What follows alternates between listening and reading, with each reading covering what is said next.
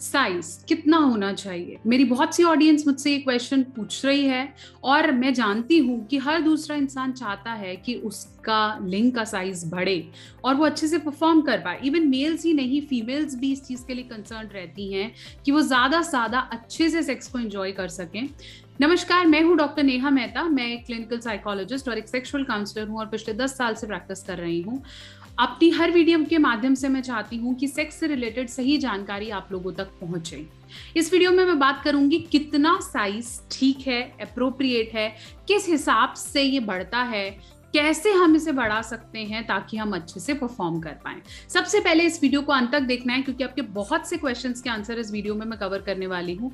साथ साथ चैनल को सब्सक्राइब करना नहीं भूलना है। मुझे पता है कि बहुत और क्वेश्चन है आपके दिमाग में, जिसके लिए वीडियो जल्द आती रहेगी। साथ साथ आपको कोशिश करनी है कि ये वीडियो को आप शेयर करें अपने फ्रेंड्स के साथ, ताकि उनके भी दिमाग में जो भी मिथ्स हैं, भ्रांतियाँ हैं स्पेशली साइज़ को लेकर वो सही हो जाए।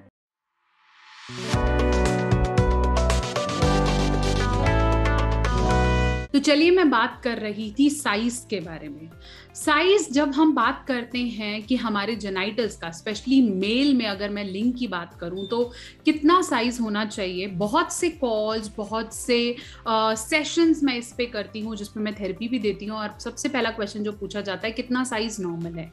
देखिए हमेशा समझिए कि इरेक्टेड पेनिस अगर उसका साइज़ थ्री इंच है या उससे ज़्यादा है six inch seven that is appropriately okay लेकिन अगर उसका साइज़ थ्री इंच से इरेक्टेड पोजिशन में कम है तो उस पेनिस को माइक्रोपीनियस कहते हैं जिसके लिए सर्जरी ही एकमात्र ऑप्शन होता है, ऐसा सौ में से सिर्फ़ एक दो केसेस में ही होता है।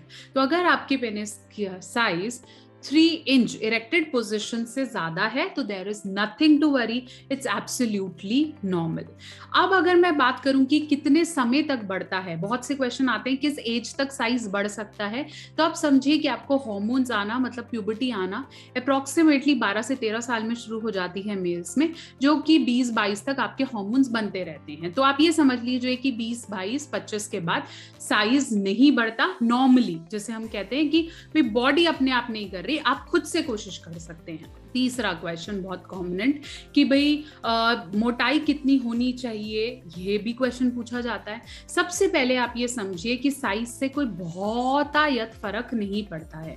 अगर आपके पेनिस में इरेक्शन अच्छा है और आपका टाइम अच्छा है, जोश अच्छा है तो फिर साइज़ अगर आपका थ्री इंच भी है इरेक्टेड तो भी घबराने की बात नहीं है। इसके लिए मैंने ऑलरेडी एक्स्ट्रा विगोर का नाम बताया था कि अगर आपको टाइम में कोई इश्यूज़ हैं तो आप उसे ले सकते हैं और वो आपको हेल्प भी करेगा।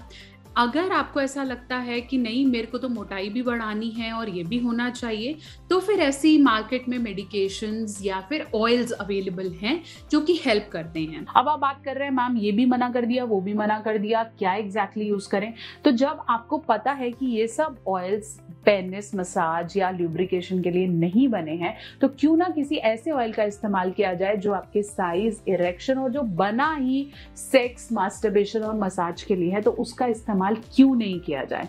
मैं रेकमेंड करूँगी nature mania lift up oil ये ऑयल आपके साइज़ के लिए, ये ऑयल आपके सेक्स के दौरान ल्यूब्रिकेशन के लिए, ये ऑयल नेचुरल है साइड इफेक्ट्स नहीं है ओरल के दौरान इसका इस्तेमाल नहीं करना है, बाकी हर तरीके से आप इस ऑयल का इस्तेमाल कर सकते हैं। रूटीन में आप इससे मसाज कर सकते हैं जेलकिंग मेथड से। वीडियो यहाँ पर है, आप इसे देख सकते हैं।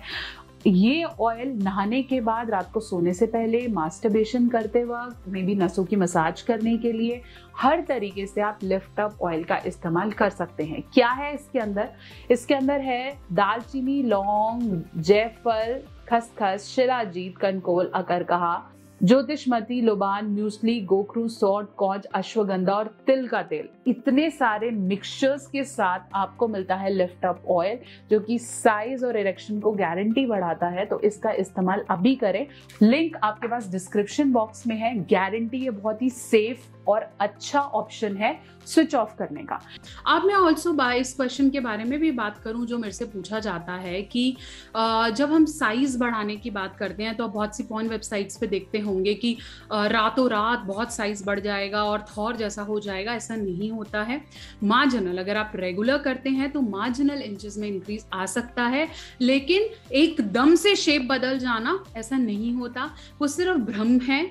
आपको अपने पेनिस के इरेक्शन पे ध्यान देना है टाइम पे ध्यान देना है, अपनी हैप्पीनेस पे ध्यान देना है, अपने अच्छे थॉट्स पे ध्यान देना है, ये ज़रूरी है। Regular exercise a good Ayurvedic capsule to help you ताकि आप अच्छे से परफॉर्म कर पाए। अच्छी डाइट आपके लिए बहुत बहुत बहुत इंपॉर्टेंट है। तो आपके बहुत से क्वेश्चंस के आंसर जो कि आपके पेनिस साइज़ और उसकी थिकनेस और उसकी ग्रोथ या क्या मेडिकेशन ले उससे कंसर्न रहते हैं, मैंने ऑलरेडी आपको कवर किया। खुश रहें, स्वस्थ रहें और मेरे चैनल को सब्सक्राइब करना नहीं भूलें, क्योंकि बहुत और सारे आपके मेथ्स क्वेश्चन मैं आंसर कर पाऊँ। साथ साथ आप मुझे पर्सनली भी जुड़ सकते हैं फेसबुक और इंस्टाग्राम पे डॉक्टर ने ऑफिशियल और और भी ऐसा कोई क्वेश्चन है साइज़ से रिलेटेड परफॉर्मेंस से रिलेटेड टाइम से रिलेटेड या फिर अच्छी परफॉर्मेंस से रिलेटेड नीचे कमेंट सेक्शन पे लिख भेजिए। I am always there to help you एक और वीडियो लेकर बहुत जल्दी जुड़ती हूँ। सब्सक्राइब करो शेयर करो लाइक करो।